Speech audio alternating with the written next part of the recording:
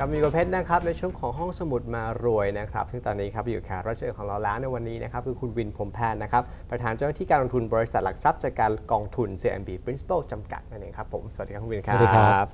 อะเราได้คุยกันไปแล้วหลังสัปดาห์ที่แล้ว ว่าหนังสือ Invest Like a Pro นะครับเป็นหนังสือเล่มล่าสุดที่ทางคุณวินเป็นผู้เขียนขึ้นมานี่เธอบอกว่าตอนแรกจะเป็นไอเดียแรกคือรวบรวมมาจากแฟนเพจที่ชื่อว่า Invest Like a Pro นี่เหมือนกันใช่ ครับความเป็นมายังไงครับจุดเริ่มต้นของหนังสือเล่มนี้เป็นไงครับ ก็เอ่อด้วยความที่ผมเป็นอาจารย์พิเศษด้วยนะสอนหนังสือด้วย แล้วก็ครับ มีความสุขกับการให้ความรู้คนนะครับ อืม การการสอนหนังสือการทำเพจก็เป็นการให้ความรู้ทั้งคู่นะครับนี่เราก็รู้สึกว่าเอ๊ะที่เขียนไปในเพจเนี่ยเราอยากจะรวมเป็นหนังสือ ครับเพราะหลายเรื่องเนี่ยมันเวลาเขียนลง Facebook เนี่ยเขียนยาวไม่ได้ อ่าใช่ มันมันก็แบบ เราก็เขียนได้สั้นๆ เพราะว่าคนอ่านคงอ่านไม่ไหวยาวๆไป แล้วบางครัทีบเรื่องมันไม่ต่อกันนะครับมันไม่ได้เจาะลึกกันไปด้วยใช่ครับก็เลยต้องคิดว่าเอ้ยเดี๋ยวเอาสิ่งที่เราเขียนเนี่ยมาเป็นหนังสือครับ ตอนทำจริงก็บอกว่ามันก็ไม่ง่ายอย่างที่คิดนะ แต่เรื่องว่าจะเอารวบรวมมาใส่มันไม่ใช่มันต้องเขียนใหม่เยอะวางโครงใหม่เยอะนะครับอืมแล้วก็ก็ใช้เวลาทำอยู่นานเหมือนกันคือครับคือน่าจะเกิน 2 ปีโอ้นะครับตอนตอนเข้าปีที่2เนี่ยครับ ก็เกิดอาการกดดันตัวเองว่าอืมทำเสร็จสักทีเถอะคือมันมันนานแล้วนานแล้วคืออย่างนี้ครับ หนังสือเล่มนี้มันมีเรื่องของการที่เราต้องให้ข้อมูลที่เป็นเอ่อผลตอบแทนกองทุน หรือว่าผลประกอบการบริษัทที่เราเลือกที่เล่าเรื่องหุ้นเนี่ยนะครับครับมันก็ต้องมีอ่าจุดของเวลา เช่นอ่าข้อมูลถึงวันที่31ธันวาคม 2017 อะไรเงี้ยครับนะครับก็ต้องหนังสือเกือบทั้งเล่มก็ต้องจบประมาณเวลาเดียวกันใช่ไหมเออไม่งั้นมันเหมือนถ้าถ้าเราอะทีนี้ถ้าผมปีนี้ผมไม่เสร็จครับ ไปเสร็จปีหน้าอย่างเงี้ยผมก็ต้องมานั่งรื้อข้อมูลใหม่หมดเลยทั้งทั้งอันทั้งไหนเล่มที่เป็นตัวเลขที่อ้างใช่ใช่อิงเอาไว้ใช่ มันก็เลยคิดว่าโอ้งั้นก็เสร็จสักทีเถอะมันเหมือนเหมือนสอบ CFA ครับ CFA ก็คือสอบปีละครั้งในในยุคอดีตนะครับครับปีละครั้ง ถ้าเป็นที่สอบไม่ผ่านปีหน้าต้องอ่านหนังสือใหม่หลอดรอสอบปีหน้ามันก็เป็นความกดดันว่าอะสอบให้ผ่านสักทีเถอะนี่ก็เหมือนกันก็อยากทำให้เสร็จสักทีหนึ่งนะครับก็เป็นอืมเป็นความตั้งใจว่าเอาละทำมาตั้งสองปีกว่าครับควรจะออกได้แล้วนะครับเอ่อก็แล้วก็เอ่อ หนังสือเล่มนี้เนี่ยมันเกิดจากความที่ผมชอบอ่านหนังสือครับมันก็จะเป็นแรงกดดันอีกอีกพาร์ทหนึ่งที่ว่า เราอยากได้หนังสือที่เราเราชอบเราเองก็อยากในในนักอ่านคนหนึ่งอ่าใช่ไหมครับอ่าถ้าย้อนไปว่าเอ๊ะเวลาอ่านหนังสือเนี่ยเราชอบอะไรไม่ชอบอะไรครับเช่น ผมเนี่ยไม่ค่อยไม่ชอบหนังสือการเงินที่แบบอ่าในแต่ละหน้าเนี่ยเขาเรียกว่าผักบุ้งหลงเหลงอะคือคือที่ว่างเยอะๆ แต่มีตัวหนังสือวันสามบรรทัดอะไรอย่างเงี้ยนะครับครับ คือถ้าเป็นรูแบปบประกอบเยอะหนะรูปรูปไม่ว่าอะแต่ว่าอ่าถ้าแบบเป็นที่ เป็นที่ว่างๆอะครับคือครับเรารู้สึกว่าเออถ้าเป็นบทกวีเป็นปรัชญาอย่างเงี้ยก็ได้ต้องมีความว่างแต่หนังสือการเงินเนี่ยแบบว่าทางหน้ามีสามพันก็ไม่ได้ผมเองหนังสือผมจะไม่เป็นแบบนั้นครับเล่มนี้ก็จะแน่นๆเนื้อหาแน่นๆหน่อยนะครับอืมเอิ่มในขณะเดียวกันเนี่ยผมชอบอะไรบ้างผมชอบอาการเล่าเรื่องด้วยภาษาที่เข้าใจง่ายนะครับเอ่อผมชอบการที่เรามีภาพประกอบ หนังสือผมที่ทำมาตั้งแต่เล่มแรกถึงเล่มนี้เล่มที่สามเนี่ย จะค่อนข้างมีสีสันเยอะภาพประกอบเยอะเพราะว่าเรื่องที่เราเล่ามันเรื่องที่เข้าใจยากอยู่แล้วอะพยยมการลงทุนย่อยๆเรื่องหุ้นเรื่องจัดพอร์ตเนี่ยครับถ้าเราอะมันถ้ามีแต่ตัวหนังสือเอ่อยาวเป็นปื้ดๆเนี่ยคนอาจจะไม่อยากอ่าน แล้วก็อยากให้มีมีมีสีสันมีเบรกอารมณ์บ้างมีภาพประกอบ ซึ่งเล่มนี้ก็จะเป็นอย่างที่ผมอยากที่ผมชอบนะครับครับผมชอบหนังสือซึ่งเล่าเรื่องด้วย case study อืมอ่าแล้วเราก็คือคือเล่าเล่าเป็นวิชาการมากไปมันก็นึกภาพไม่ออก ก็ต้องเอาตัวอย่างมาเล่าให้ฟังว่าเออเขียนบริบทไม่ออกใช่อย่างเล่มนี้ก็จะเล่าเรื่องแบบ case study ของ Matt Dolph ซึ่งเป็นครับ hedge fund ที่กลายเป็นอ่าแชร์ลูกโซ่นะครับอืมหรือว่าเรดาริโอซึ่งเป็นนักลงทุนในตำนานในเรื่อง hedge fund เหมือนกันนะครับก็การเล่าเรื่องด้วยด้วย case study เนี่ยมันทำให้เข้าใจว่าคนอ่านเนี่ยเขาอาจจะจะเข้าใจเรื่องที่เราอยากจะสื่อถ่ายทอดมากขึ้นนะครับเล่มนี้ก็เป็นแบบนั้น เพราะฉะนั้นก็ก็พยายามจะเอ่อเขียนหนังสืออย่างที่ตัวเองอยากอ่านอืมครับเพราะฉะนั้นเบื้องต้นการันตีได้เลยว่า อ่านแล้วต้องสนุกแน่นอน เพราะว่า นักอ่านอย่างเราเนี่ยเราจะเราจะรู้ว่าอันไหนมันคือเนื้อหามันประมาณนึงแล้วสักสี่ห้าหน้าแล้วโอ้มันต้องเบรกด้วยอะไรสักอย่าง ต้องมีตัวอย่างต้องมี case study อะไรอย่างให้เรารู้สึกว่าใช่ใช่คนอ่านแล้วสามารถจินตนาการตามไปได้ด้วยใช่ครับเข้าใจในทฤษฎีแล้วก็โอเค พอโลกแห่งความเป็นจริงมันเป็นยังไงนะอืมซึ่งในนี้ก็ได้ถูกถ่ายทอดและผสมผสานทั้งสองส่วนได้อย่างลงตัวนะครับซึ่งใครก็ตามสามารถหาอ่านได้ไม่ว่าจะเป็นของห้องสมุดมารวยเลยก็แล้วแต่ก็คือมีวางจำหน่ายโดยปกติทั่วไปใช่ครับใช่ครับอืมเห็นบอกว่า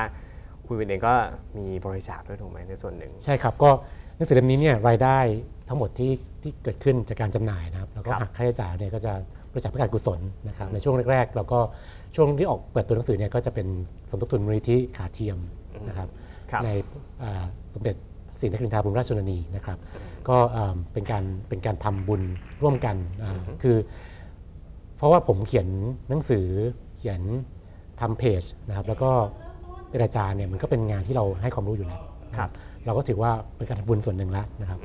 พอพอพอข้อข้อเอ่อข้อมูลในเพจที่ท่านอ่าน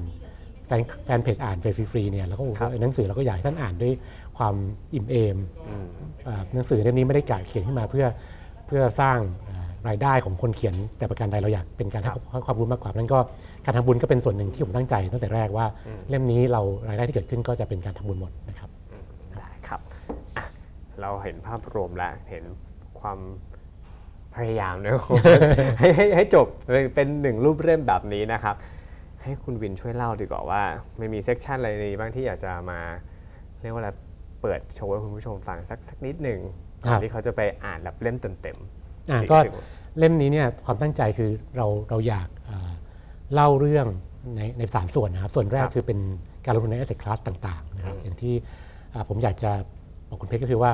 หนังสือส่วนใหญ่ที่เราเห็นกันจะเป็นเรื่องหุ้นครับเราอยากให้หนังสือเล่มนี้เนี่ยเล่าเรื่องอื่นที่ไม่ใช่เรื่องหุ้นบ้างอืมไม่ค่อยมีคนเขียนถึงไม่ว่าจะเป็นเรื่องของ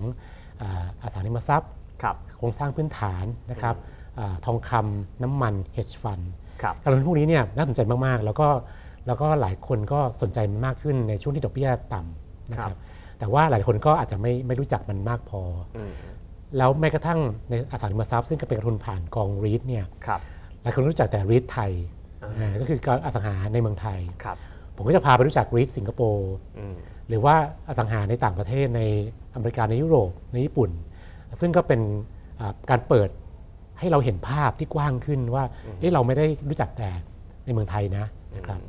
part ที่ 2 จะเป็นเรื่องของการลงทุนตามธีม ซึ่งครับก็คือเป็นการลงทุนในหุ้นนั่นแหละนะครับทีนี้หุ้นเนี่ยอ่าอ่าเราเลือกหุ้นอ่าโดยโดยมีธีมประกอบดีไหม เช่น เราคิดว่าเอ่อเรามีผู้สูงอายุมากขึ้นในโลกเนี่ยแต่ผู้สูงอายุหลาย ๆ คนเนี่ยเอ่อกลับมีกำลังซื้อมากขึ้น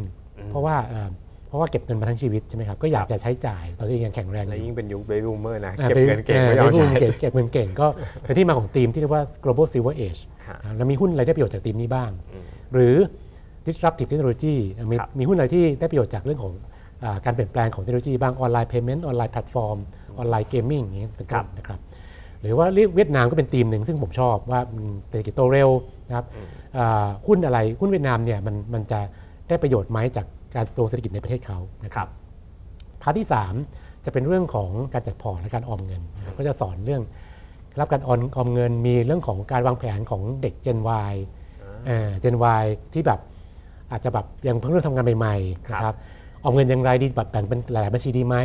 นะครับบัญชีการออมเพื่อความสุขการออมเพื่อ พ่อแม่อย่างนี้เป็นต้นนะครับอ่าทีนี้การการออมเพื่อให้ตัวเองเนี่ยเกษียณอย่างมีความสุขครับนะครับ การจัดพอร์ตของบุคคลการจัดพอร์ตของสถาบันนะครับ แล้วก็มีเรื่องของการทำพอร์ตแบบสมดุลตามอายุคือว่าอ่าเป็นไปได้ไหมที่เราจะปรับพอร์ตเราเมื่ออายุเรามากขึ้นนะให้ครับเสี่ยงต่ำครับลดความเสี่ยงลงเรื่อยๆ เมื่ออายุมากขึ้นนี่เป็นต้นนะครับครับ ก็เอ่อหนังสือจะแบ่งเป็นสามส่วนแบบนี้นะครับ ถ้าท่านได้เปิดหนังสือในช่วงหลังๆเนี่ยจะเห็น กราฟิกบางอย่างที่ผมเคยโพสต์ในเพจ Invest Like a Pro นะครับครับ ก็อันนี้ก็จะเล่าเป็นเบื้องหลังให้ฟังว่านี่คือกราฟิกทำเองหมดเลยโอ้ไม่รู้โอ้โหมีมีเป็คนกราฟิกกดีไซเนอร์ด้วย คุณวิไม่นคือคือทำจาก powerpoint ธรรมดานี่แหละอ่าฮะมีคนชอบถามว่าเราแบบใครทำให้บอกทำเองครับนี่แต่คือแต่คือนึกย้อนไปก็ตลกดีว่าเราเอาเวลาที่ไหนมานั่งทำอะไรขนาดนี้นะแต่คือมันก็คือเป็นการอ่าให้ความรู้ด้วยภาพที่เข้าใจง่ายนะครับก็ก็ก็เรียนรู้ไปผมเองก็แบบไม่ได้เรียนเรื่อง ศิลปะอะไรมาเลยก็ก็ถ้าจะเห็นในในหนังสือว่าเนี่ยคือคือความตั้งใจว่าเราอยากสอนเรื่องการออมเงินครับแบบง่ายๆนะเปิดเปิดโชว์หน่อยได้ไหมมีภาพประกอบอ่าได้ครับชักชักอยากเห็นที่อยากรู้แล้วว่าเอ๊ะอันนี้กราฟิกอย่างไรอ่าที่วินได้โอ้โหบอกว่าดีไซน์เองทำเองอ่าครับนี่ครับเป็นเคล็ดลับ 5 ข้อสร้างพอร์ตมั่งคั่งให้สำเร็จอย่างเงี้ยนะครับอืมเออก็เป็นอันนี้ก็ทำเองนะครับฮะเดี๋ยวเอาอีกสักภาพหนึงนะครับ ได้ครับ อันนี้ก็นี่ครับ แผนการออมสำหรับเด็ก Gen Y เออก็ก็คือทำให้สามารถก๊อปไปใช้ได้เลยเออสามารถที่จะเรียนแบบได้เลย คือเราไม่ห่วงลิขสิทธิ์โอ้ด้วยยห่วงด้วยครับ ก็เอาเอาทำตามแบบนี้เป๊ะเลยก็ได้ ถ้าเงินเดือน 25,000นะครับอืมแบ่งเป็นบัญชีอะไรบ้างครับแล้วก็ตอนจบเหลือเท่าไหร่ค่อยใช้ตามนั้น อันนี้ผมอยากรู้แล้วช่วยเล่ารายละเอียดหน่อยนะครับว่าได้ครับ วางแผนการเงินสำหรับคนเจนวายเป็นไงเพราะว่าหลาย ๆ คนน่าจะอยู่นะอยากจะเริ่มต้นอะออมอันนี้อันนี้ในจริงๆในนี้ผมใช้ตัวอย่างของเด็กผู้ชายที่ชื่อน้องแชมป์ครับ เงินสองหมื่นอันนี้เงินเดือนจะน้อยหน่อยนะครับเงินสองหมื่นก็ออมแบ่งเป็น 4 บัญชีนะบัญชีครับ แรกคือเรื่องของการออมเพื่อเกษียณ อืม มีภาคบังคับคือประกันสังคม มีครับภาคสมัครใจที่ถ้าในจ้างมีก็ยิ่งดีคือเอ่อสำรองเลี้ยงชีพนะครับประกันสังคมเนี่ยก็จะช่วยให้ น้องแชมป์ในในในในตัวอย่างเนี้ยครับ มีบำนาญหลังเกษียณอืมนะครับอาจจะไม่เยอะมากเดือนหนึ่งไม่กี่พันบาท แต่ก็ครับแต่ก็มีไปตลอดชีวิตนะครับอ่าสำรองเลี้ยงชีพก็จะช่วยให้มีเงินก้อนตอนเกษียณพอดีนะครับครับ เงินก้อนเนี่ยมากน้อยขึ้นอยู่กับว่าน้องแชมป์เนี่ยจะปรับจัดพอร์ตอย่างไรอ่าถ้าเป็นคนขี้กลัวจัดพอร์ตมีแต่ตราสารหนี้เงินฝาก ครับเงินก้อนก็จะเล็กหน่อย ถ้าเรามั่นใจว่าเอ้ยเราแบบอีกหลายปีจะเกษียณ ครับ ก็ปรับจัดพอร์ตให้มีเงิน โตเร็วหน่อยมีหุ้นเยอะหน่อย อันนี้คือในกองทุนสำรองเลี้ยงชีพใช่พซึ่งอร์ตก็จะโตเร็ว ซึ่งมันสามารถปรับเปลี่ยนได้ ก็ส่วนใหญ่เนี่ยเดี๋ยวนี้ในจ้างสามารถให้เราเลือกแผนได้นะครับเอิ่มอันที่สองคือออมให้พ่อแม่นะครับก็เราก็สอนกันในเอ่อในเอ่อวัฒนธรรมไทยว่าอืมทำงานเดือนเดือนแรกน่าจะยกให้คุณแม่ ผมก็บอกว่า อยากว่าแต่เดือนแรกเลยทำเป็นทุกเดือนเป็นประจำยิ่งได้ยิ่งดี เพราะเงินเดือนแรกควรจะเป็นครั้งแรกและครั้งสุดท้ายกลัวจะไม่มีแค่นั้นนะก็ไม่ต้องเยอะเดือนละห้าเราเดือนละพันหนึ่งก็ชื่นใจแล้วอ่าเป็นความน่ารักที่ที่ถ้าเราทำให้พ่อแม่ท่านจะท่านจะภูมิใจในเรื่องนี้มากนะครับครับอันที่ 3 คือออมเพื่อความสุข อันนี้สำคัญมาก พอร์ตนี้เนี่ยเอ่อยังไงฮะบัญชีนี้เนยนะครับคือหลายคนเนี่ยอยากไปเที่ยวครับญี่ปุ่น ตังค์ไม่มีก็ทำไงดีล่ะก็ใช้วิธีไปไปเที่ยวก่อนผ่อนทีหลังเออรุ่นบัตรฮะรูดบัตรนะครับอย่างคนอยากซื้อ iPhone ใหม่ครับอ่าก็รูดบัตรดีละนะครับศูนย์เปอร์เซ็นต์อ่าปัญหาคือว่าอะไรคือเราสร้างหนี้ให้ตัวเอง แล้วก็เอ่อหนี้พวกนี้เนี่ยมันจะเป็นภาระที่สะสมไปในอนาคตแล้วทำให้เราอึดอัดใจมากขึ้นเรื่อยๆนะครับอืมก็วิธีการที่ผมแนะนำคือว่าก็เอ่อแทนที่เราจะไปก่อนหนี้แล้วก็ไปหาความสุขเนี่ยเราเราออมก่อนนะครับอืมอยากได้ iPhone เอ่อ ตัวใหม่ก็ออมสักเดือนละ2,000ผมคิดว่าปีหนึ่งหรือว่าเดือน2,500สักปีหนึ่งก็น่าจะถึงนะครับออมได้ครบก็ค่อยซื้อครับนะครับหรือว่าอยากไปเที่ยวญี่ปุ่น ผมคิดว่าเดือนละพันห้าสองพันสักปีหนึ่งก็อาจจะถึงอาจจะพอไปเที่ยวญี่ปุ่นได้เหมือนกันนะครับพอเราเก็บเงินได้ครบครับ แล้วก็ได้ได้ไปเที่ยวหรือไปซื้อมือถือใหม่เนี่ยเราจะ enjoy กับสิ่งนั้นมากกว่า คือถ้าเราจะใช้จ่ายอย่างความสุขมากกว่าที่จะเป็นหนี้นะครับอืมอันอันที่สี่ก็คือบัญชีอ่า ฉุกฉุกเฉินนะครัครับบอันนี้ก็เป็นอีกอันหนึ่งซึ่งหลายคนเจอปัญหามากอืมยังไงครับอ่าบางครั้งเรามีเหตุในชีวิตต้องใช้เงิน เช่นซ่อมบ้านนะครับ ค่าเทอมลูกอะไรอย่างเงี้ยนะครับ เจ็บป่วยอ่าเจ็บป่วยนะครับอ่าประกันอาจจะไม่พออะไรเงี้ยนะครับ ก็อ่าเราต้องไปหยิบเงินคนอื่นมา การยืมเงินคนอื่นมาไม่ว่าจะเป็นเงินกู้ส่วนเงินกู้ส่วนบุคคลนะครับ การรูดบัตรเครดิตอืมอ่าแล้วก็เอ่อจ่ายไม่ครบตามเวลา หรือว่าการกู้นอกระบบเนี่ยดอกเบี้ยมันแพงมากอืมนะครับ มันก็กลายเป็นภาระที่ พอกหางหมูไปเรื่อยๆนะครับครับแนะนำว่าให้มีเงินบัญชีเงินออมฉุกเฉินเนี่ยสักอ่าสามถึงหกเท่าของค่าใช้จ่ายครัต่อบเดือนนะครับอ่าเช่นค่าจ่ายเดือนหนึ่งเราคือเดือนละหมื่นก็มีสักสามถึงหกหมื่นบาทอืมเวลาเกิดเหตุอะไรขึ้นเราจะได้มีตรงนี้ไปไปใช้ ไม่ต้องยืมเงินใครนะครับก็ไม่เป็นหนี้อืมนะครับก็ผ่านไป 4 บัญชีเนี่ยเพื่อเอ่อเกษียณนะครับเพื่อพ่อแม่เพื่อความสุขแล้วก็ฉุกฉุกเฉินเนี่ย เหลือเงินสักเดือนละหมื่นต้นๆเนี่ยก็จะใช้อะไรก็ใช้ไปไม่มีใครว่าอ่าอันนี้ก็คือภาพรวมนะในเรื่องของการวางแผนทางการเงินของคนเจนวายหรือคนที่เพิ่ใช่งมาเริ่มต้นทำงานละกัน คือจริงๆแล้วเริ่มต้นทำงานคนบอกว่าเงินน้อยเนี่ยโอ้ยจะคิดวางแผนทำไมแต่เงินน้อยเนี่ยจริงๆแล้วมันสามารถวางแผนได้ แล้วมันก็เติบโตไปเรื่อยนี่คือการแนะนำนะครับจาก คุณวินนั่นเองครับ แล้วก็เป็นส่วนหนึ่งแล้วกันนะอย่างครับหนังสือ Invest Like a Pro นี้ครับ ซึ่งหนังสือจริงๆแล้วเป็นเนื้อหาที่ค่อนข้างอัดแน่นเลยนะครับ ก็แนะนำให้คุณผู้ชมลองไปหาดูหาอ่านได้นะครับใช่ครับอันนี้นะ recommend นะฮะได้ครับวันนี้ขอบคุณคุณวินมากๆนะครับผม ขอบคุณครัขอบคุบ ณมากครับเอาละครับวันนี้เพชรคุณวินและทีมงานนะครับลาคุณผู้ชมไปก่อนสำหรับวันนี้ สวัสดีครั